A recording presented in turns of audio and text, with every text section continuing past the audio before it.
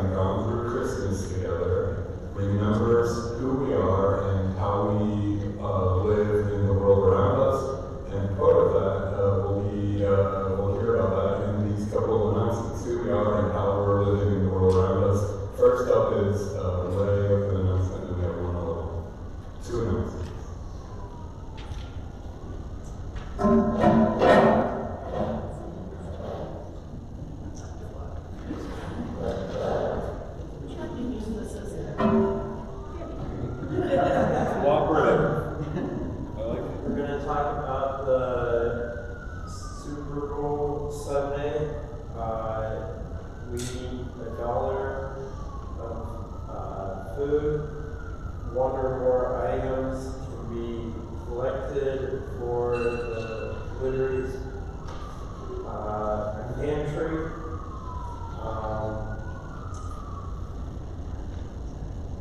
The donations are gonna be used for Lydia's pantry.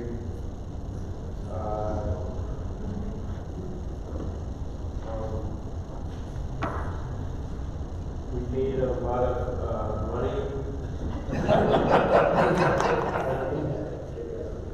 For, uh, the, the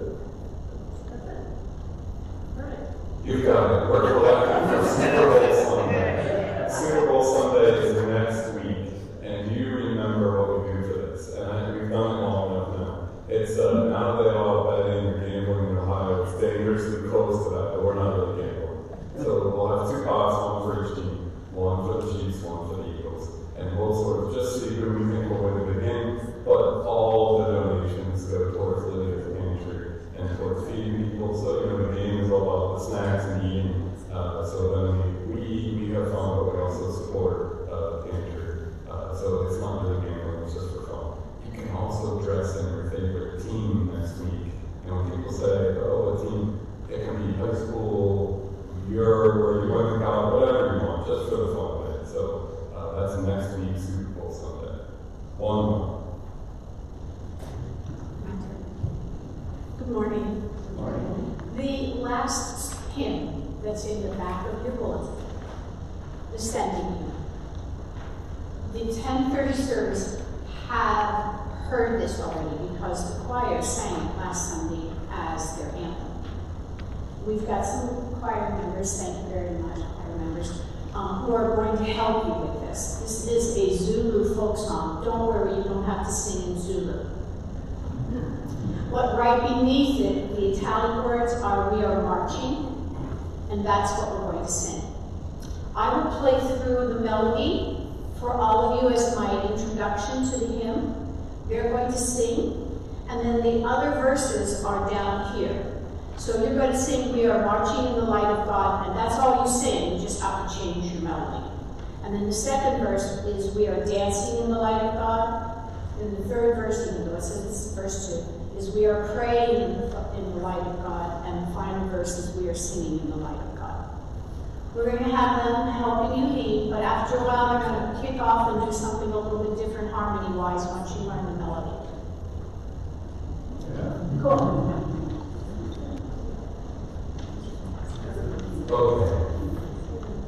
Let's take a moment to prepare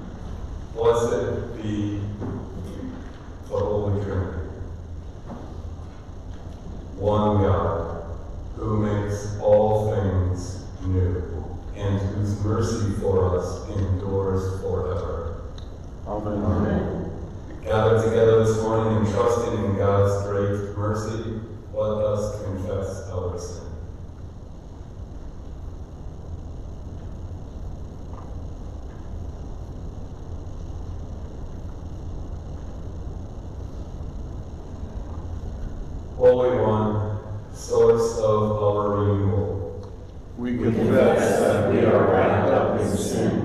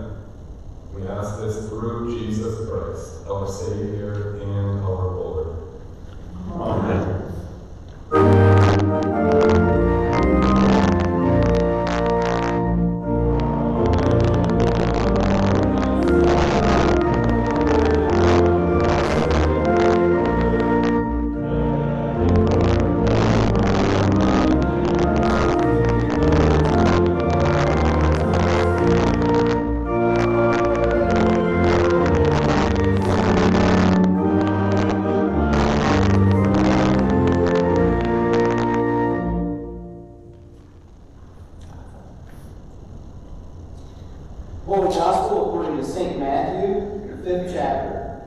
Glory to you, O Lord. Jesus said, You are the salt of the earth, but if salt has lost its taste, how can its saltiness be restored? It is no longer good for anything, but is thrown out and trampled underfoot.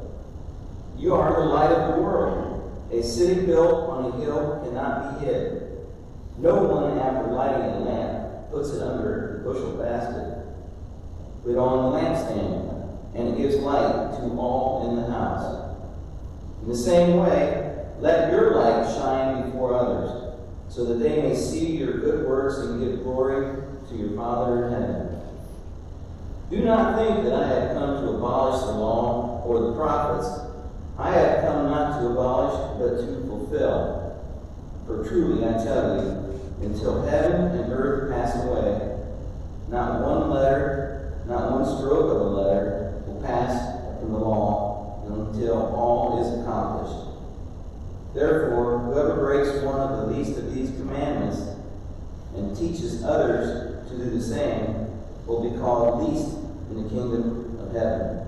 But whoever does them and teaches them will be called great in the kingdom of heaven. For I tell you, unless your righteousness exceeds that of the scribes and the Pharisees, will never enter the kingdom of heaven. The Gospel of the Lord.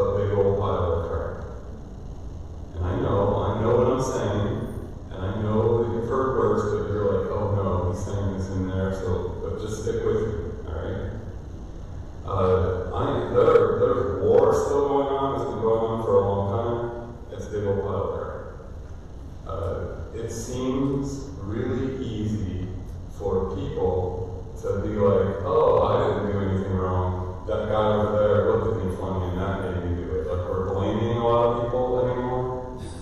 That's a big old pile of crap. Uh, people are walking around with a lot of shame or guilt and that is a big old pile of crap. Uh, I watch uh, sports. Maybe sports has taken over my life a little bit too much. Uh, and then I see things when I watch it, like people getting injured, there's all sorts of scary stuff, but we watch it anyway, right? And that's a big old pile of crap. We complain about the refs, that's a pile of crap. The people who work like in, in for civil service things, that job has gotten pretty hard. It's harder to work in public in almost any job anymore. That's a big old pile of crap. Uh, that it is 2023 and we're still talking about or dealing with or not sure if we should even be talking about or whatever anything that has to do with race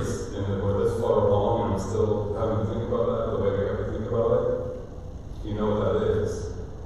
It's a big old pile of crap uh, that people are jerks, that most people finish last, uh, that we lack so much humility. You all know what this is. This is a big old pile of crap. And I know that that's like not you got up to hear me say that. You've heard worse. Maybe you can sit with me through the idea that I'm sitting in church and saying that. I could have said this worse, but I toned it down just a little bit, just for you, right? But I'm this for a couple of reasons. The first reason why I'm telling you this uh, is that uh, you and I are gathered in a Lutheran church. And so as Lutherans, uh, and, and part of who I am as Lutheran, and part of what I've come to understand who Lutherans are, is we believe that Jesus came to us. This is the message of Christmas. Came to us from God's side and comes to us all the way to where we are. And Jesus lived here and died here and all of us hold out the hope that the story of Jesus' resurrection is a promise we all cling to, it's a hope we all cling to. Lutherans are called theologians of the cross. We know about death and this sort of crappiness. And so we're said, it's said Lutherans that because we hold out faith that God is still, you know, controlling this, keeping this, that we'll just call a thing what it is. It might look like cross, but we believe in a resurrection, and so we just call things what they are, and so that's why I'm kind of saying it's a big old load of crap how each day seems to go sometimes. Right? I'm also saying this because uh, this Sunday's scripture, the fifth chapter of Matthew, made me think of it. It made me think of crap. That's true. Did you think of it when you read it? Can you look at it and say, did, did the word crap come to mind when you read this? Anything in there make you think, oh, this is a big old load of crap, or thinking about crap at all? Because when I read this, that's one of the things that came to mind straight from this. Anything in there? What does the first part of that say? You are the salt of the earth. That's what made me think of the crap stuff. It's true. Alright, so this is true. And this is what made me think of all this. Um, in Jesus' world, there were not a lot of sticks and wood around for fires. Uh, in Jesus' world, people bake a lot of bread. Jesus can say, I'm the bread of life, and people understand what that is. They had probably like one communal oven in the neighborhood where they lived, and they would all use it, and they needed a flame to bake the bread, right? And there's not a lot of sticks, there's not a lot of wood. Guess what they used? Crap. That's what made me think of it. And when this is talking about who we are, because of who Jesus is, who we are, when this says you, and that's you plural, like we, we are the salt of the earth, it made me think of crap because of the way salt was used in Jesus' world. At this point in our lives, salt has a sort of mixed, uh, we don't know what to make of that anymore. Uh, like, have you known anybody who's in the hospital? Uh, been in the hospital? Have you ever visited somebody in the hospital? Have you ever asked them how the food is? And yet, you don't even have to have been in the hospital to know what I'm talking about. Right? You know why it's like that? Because they're not going to put salt in there. And why aren't they going to put salt in that food? Because we're worried about health, and because they're at a hospital, and they're worried about health, and so salt gets sort of a bad rap. And, uh, you know, as bad as it gets uh, associated with like diets and hospital diets, I'm associating salt today with crap. So we're going to see where we go with this, alright? Salt in Jesus' world was part of this uh, baking bread without sticks, but Salt was mixed in with the fuel to make sure that it burnt evenly to make sure that it was leveled out. It was sort of a catalyst. As a matter of fact, salt was a pretty prevalent thing in Jesus' world. It's pretty prevalent in ours too. And they uh, had a little cake of salt that they would set the crab on top of, and that was the fuel for the fire that breaks, the communal bread. What do you get from that? That mixed together. That these are together. I've already told you that, that because of Matthew 5, I've been thinking about crap, and I'm sorry, I know like I'm saying that word a lot, but I'm thinking of it because of Matthew 5, and I'm thinking of it because of the way Jesus is talking about who we are. This leveling agent, this catalyst, right together with the stuff that we can point to and say is crap. Did you know that? Did you know that you together, you plural, are it? You are God's catalyst in the world that we live in. And no matter how much it feels like crap out there, God has not given up. God has a people, and God's Son is for us and for the world, and we are God's people, and we are this leveling agent. We are the catalyst of hope and promise and anything that is the opposite of all the stuff that weighs on us. Do you know this? Did you know that that's who we are? When we read this morning's, when Doug read this morning's gospel, it talks about the law and how we have to follow the law perfectly.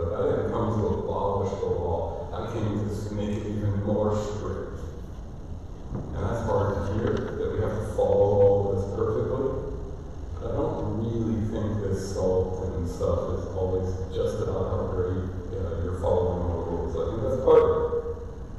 But I think it's also telling us who we are. I think it's naming us, and I think it's commissioning us as God's people. That you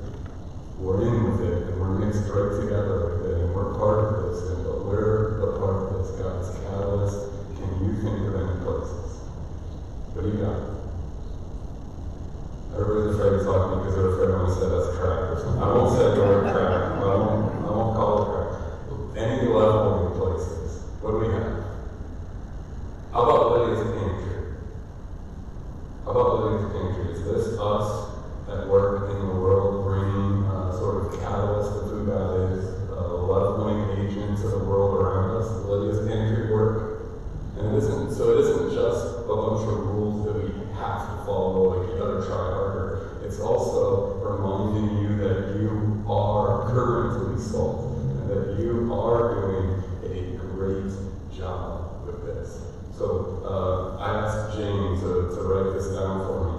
Uh, Lydia's Pantry last year, uh, just shy of 1,200 people came through Lydia's Pantry.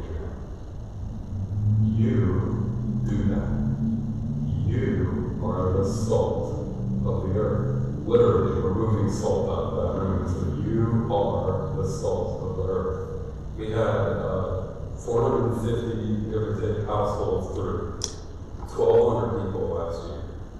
Uh, so far this year, we've already had 29 new families coming, people that we have not met, who just so far this year have come to the pantry uh, for food. Most of these people work.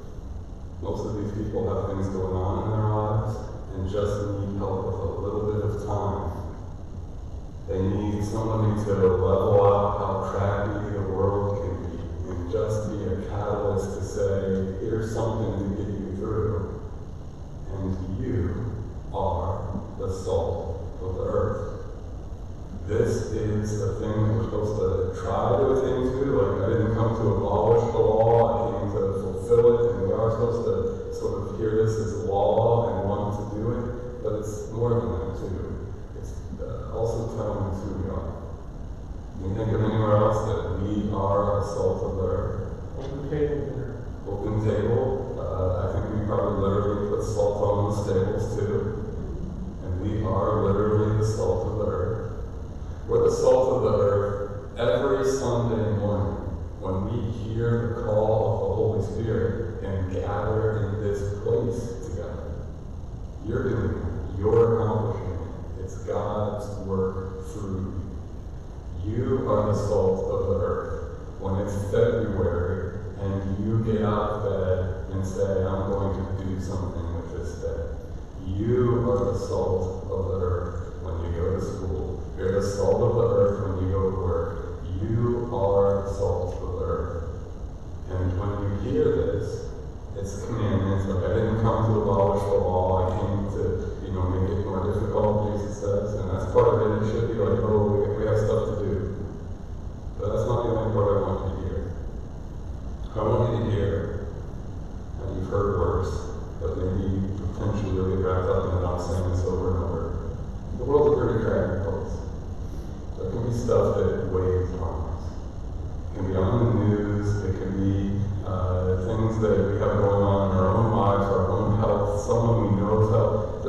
The of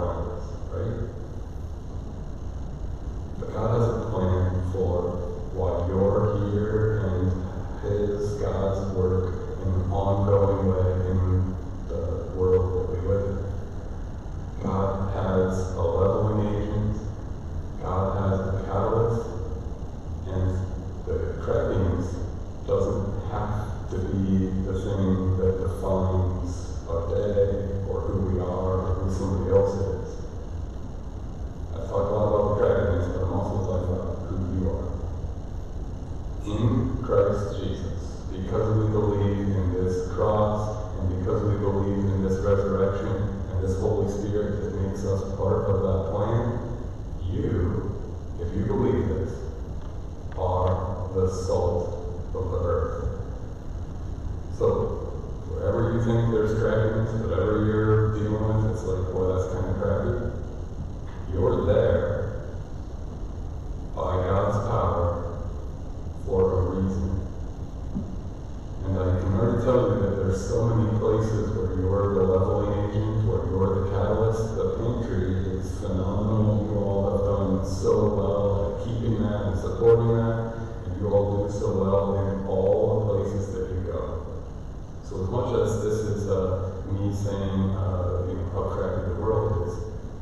also hopefully you here.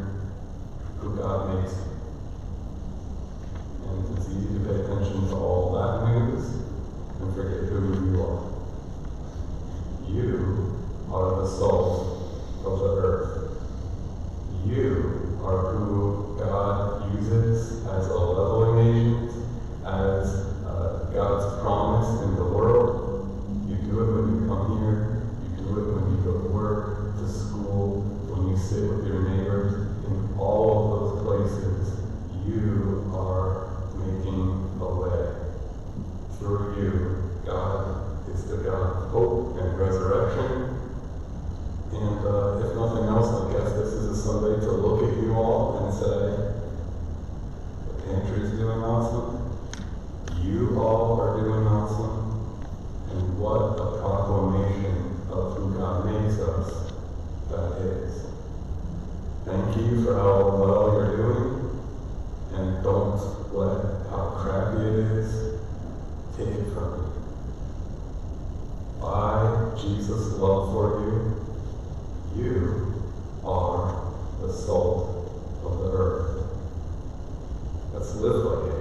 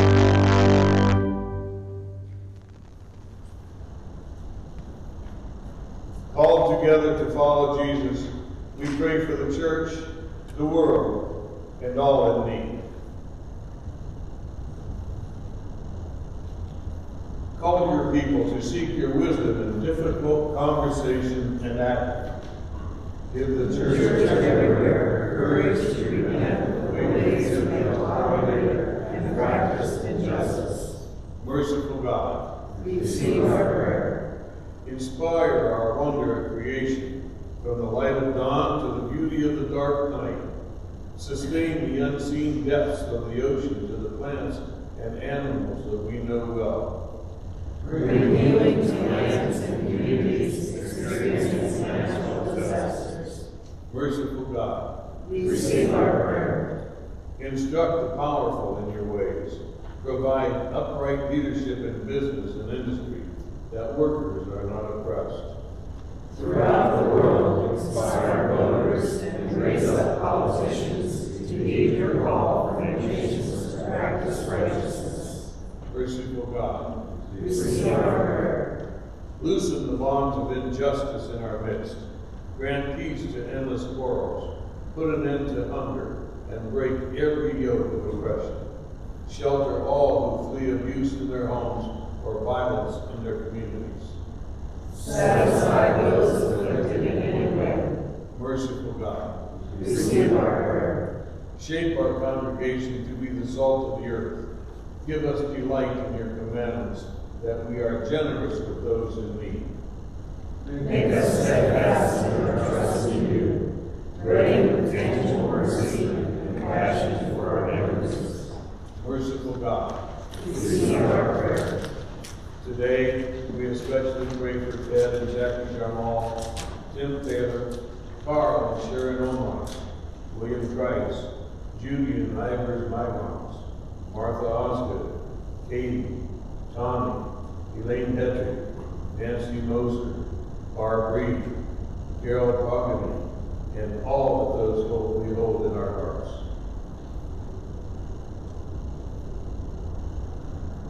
Merciful God, Receive our prayer. The cross and resurrection bring redemption from sin and death. We praise you for all those unshaken faith in Christ shines forth in their witness. Keep them in our remembrance and bring us with them into the kingdom of heaven. Merciful God, Receive our prayer. we bring to you all of our needs and hopes. O God, trusting your wisdom and power revealed in Christ crucified. Amen. The peace of Christ be with you always. And also with you. Let us share peace.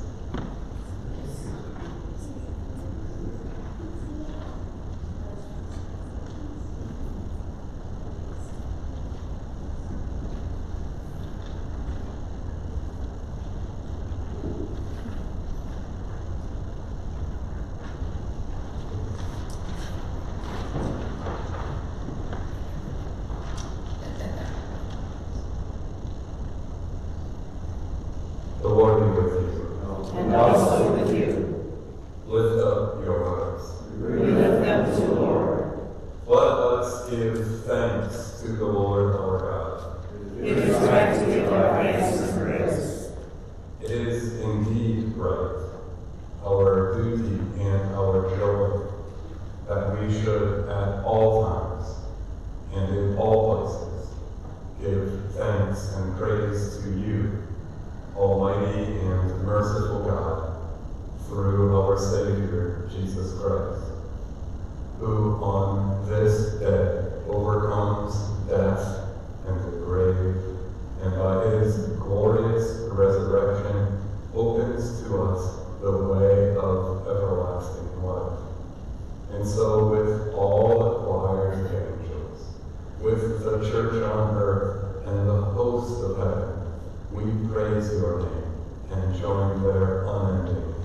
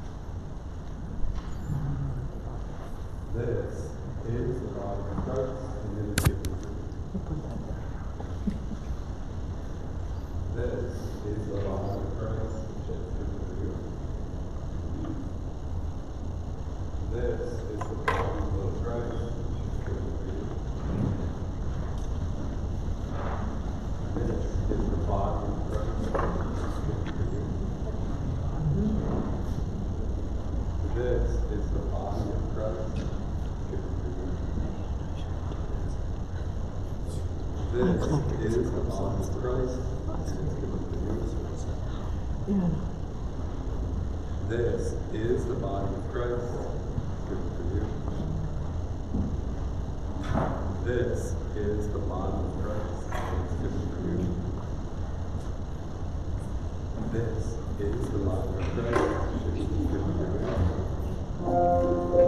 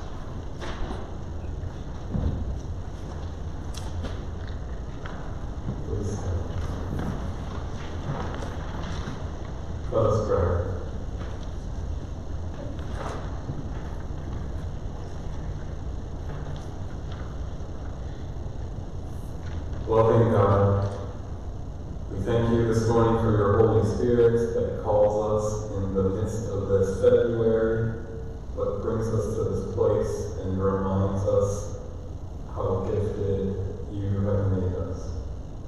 We thank you that by gathering us here, you provide for us a healing, a healing that springs forth abundantly from this font and this table. We ask, gracious God, that you would remind us that we are the salt of the earth.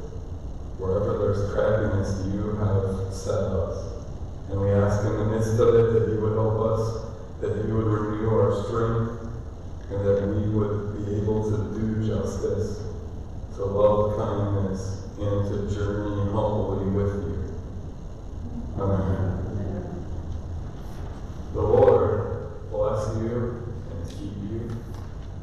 The Lord's face shine on you with grace and mercy.